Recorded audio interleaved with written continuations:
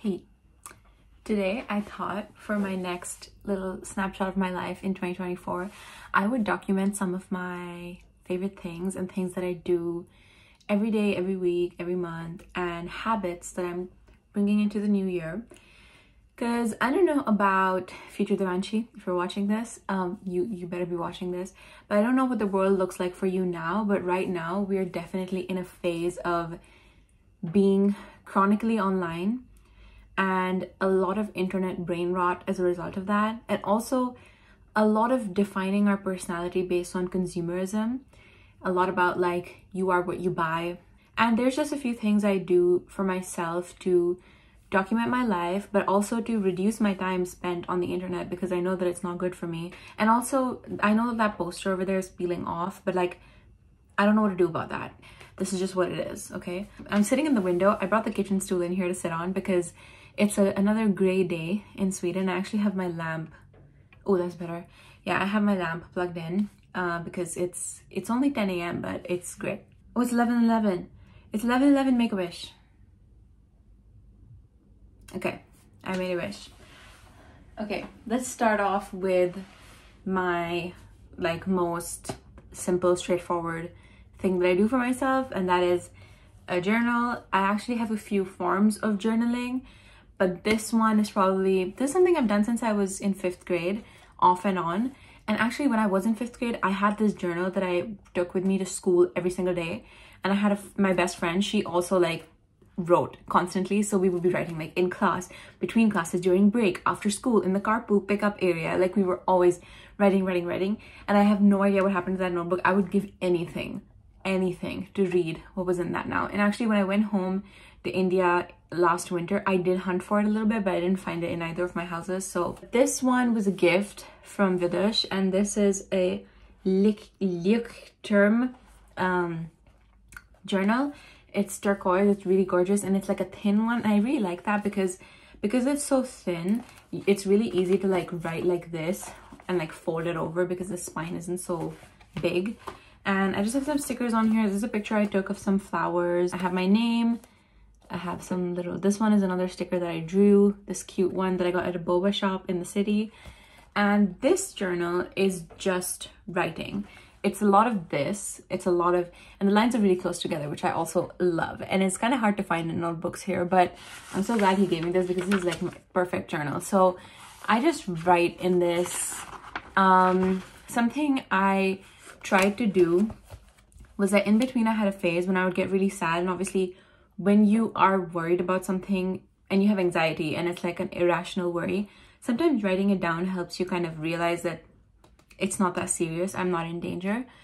But I also wanted to try documenting the good days more so that when I go back, I could remember the good memories and the good days and my journal wouldn't just be full of like negative thoughts and like bad things that happened to me. So that is the journal. Uh, this is just writing. I don't draw in this. I don't put pictures in this. That's just how I like it. This is just writing.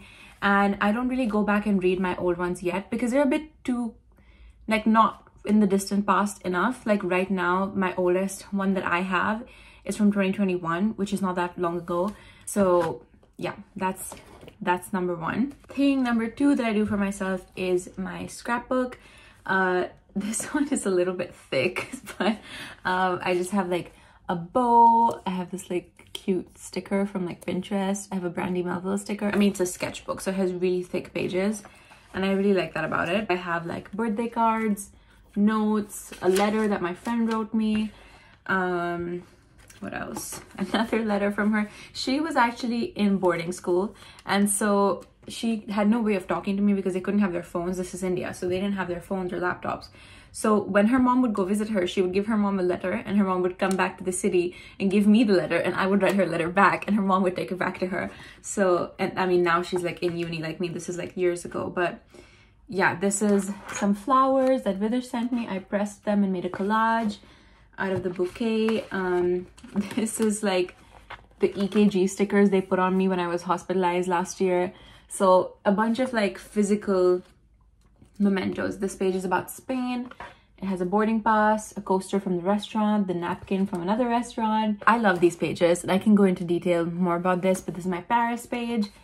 uh, and it even has like photo booth pictures from the photo booth so yeah it's got a bunch of like just like mementos and one thing about this is that people are like i don't always remember to keep the scraps and stuff but when you're scrapbooking you just subconsciously are like maybe i can hang on to that so i don't put receipts in here. But everything else boarding passes stickers napkins coasters um tickets photo booth pictures like it's really useful to just have a designated place and then you can open the page and be like oh my god this is my paris page. There's a leaf from paris there's pictures. So yeah it's really fun. The next thing is something I don't revisit this thing as much as I want to, but it's my sketchbook. Since I was an art student and I wasn't able to pursue art in university just because of visa reasons and the fact that I need a job to stay in Sweden, um, I kind of suppressed the artist in me and I was like, I have to be a business person now because that's what I'm studying. But I realized that I don't have to be an artist to enjoy art and to create art. And so recently I've been trying and thinking more about getting back into drawing and making stuff. I'm a bit embarrassed to show you this because some of this is really gross. This is from from 2020 when my mom, my sister, and I went to Malmö and how my sister was like all ticked off and my my mom was like really excited to keep exploring and I was like on Google Maps like like this trying to find our way to places. So yeah, I just doodle from time to time. I did some anatomy practice. This one is purely for fun. I'm not trying to build any skill. I'm just letting my creative juices flow. Made a Valentine's Day girl. Made an angry girl. And sometimes I try to do something a little more like creative, like a self-portrait, which is something I really don't do that often. I drew these two girlies last night because I was just I was just in the mood. I was like, I want to draw. I feel like drawing something. Oh my god, there's a dog in a yellow raincoat outside. You thought I was joking. You thought okay, the next thing is also kind of like the sketchbook. Where is it? kind of like the sketchbook it's not something i do that frequently but i bought this monet sketchbook with my bestie when i was in paris and we both like started it in paris when we were still there. And it's an impressionism coloring book so it has like these little dots of the colors and then you fill it in. So i haven't even finished one page of this but it's just things i love doing like coloring in little blobs and then you see what kind of emerges from that. Because at the back it has like prints of the actual paintings but when you're doing it you don't know what it's going to be. So i like that aspect of it. Just two more notebooks i promise and then we're gonna get into the online stuff. But the next one i have so i actually have like a little family of Leuchtturms. Now i have this is the dad this is the mom this is the yellow Leuchtturm bullet journal and then this is the baby so I have all three of these. This is my bullet journal. I started this in 2021. I think it's an indication of how much, how dedicated I am to it. The fact that I haven't even finished a quarter of it. Because when I started, it, I started out strong. I did a mood tracker, never finished it.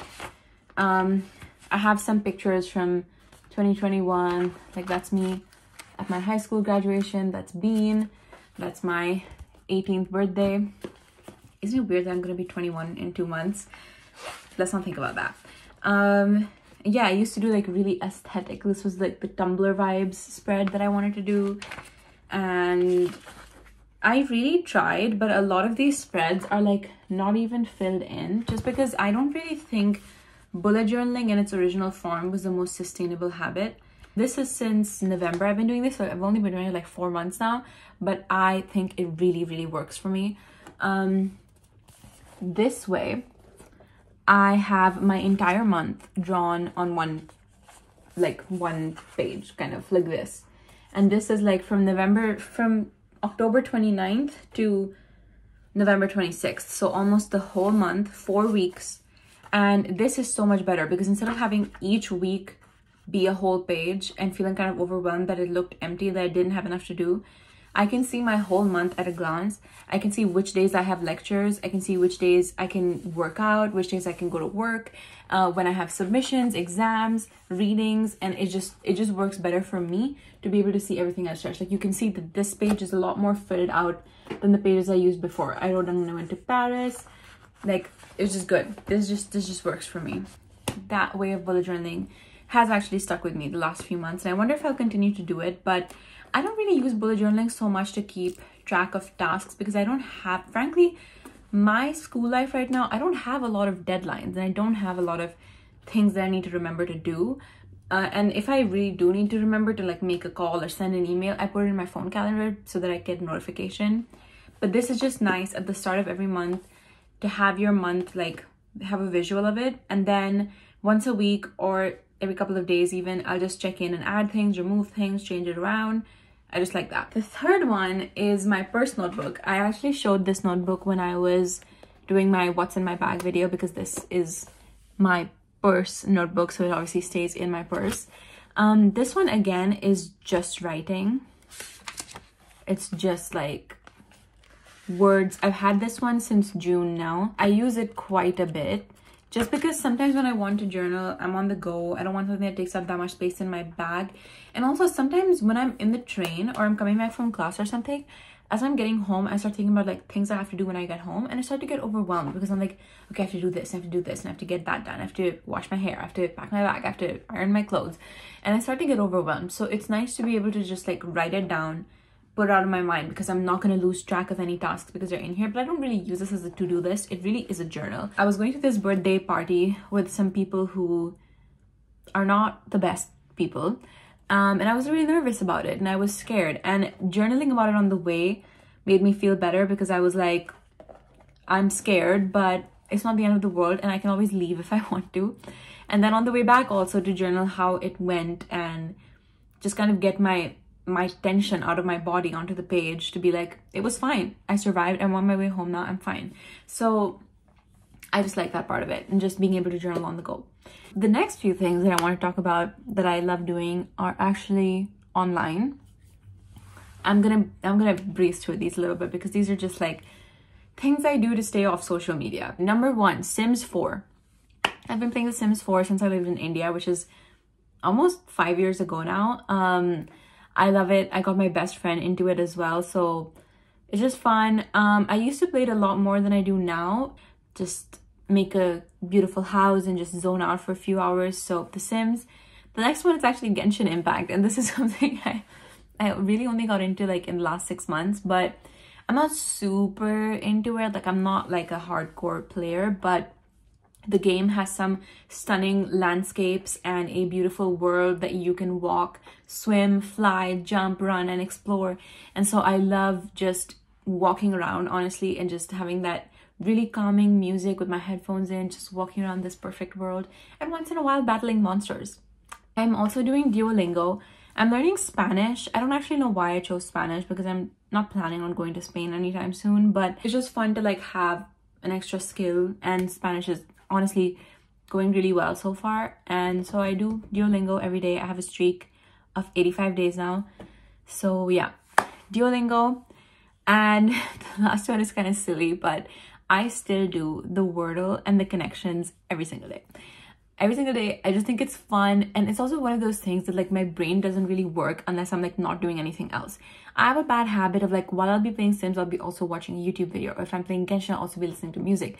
So it's nice to not have two forms of stimulation because I really need to just focus. So yeah, I don't think, I think I've covered everything. That was a lot of things. That was this whole stack of books.